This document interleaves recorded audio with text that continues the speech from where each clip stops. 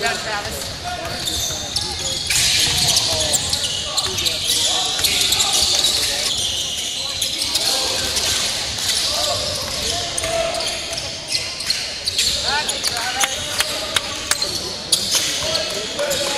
it. That's, it. That's what I